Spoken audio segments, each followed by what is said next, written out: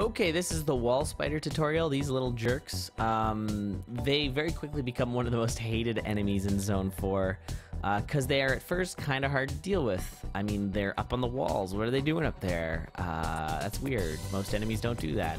So here's how they work. They basically move every other beat, um, unless, of course, they are already as close as possible to you, as you can see there. But otherwise, they're going to move every other beat.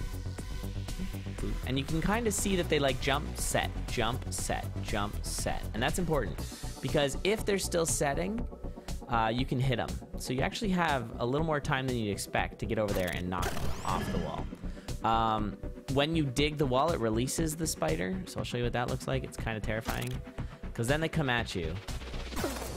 And if they jump into you, they hurt you. Also, when they're set, if you jump at them, they will hit you as well. So you gotta be careful of that. They only do a heart of damage, but uh, it's still a little scary.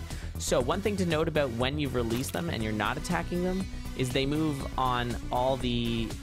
Um, so they're moving on all the loot squares here. So I'm not really in danger as long as I uh, sort of keep moving away. But basically you want to set them up so that they are uh, adjacent to you so you can kill them.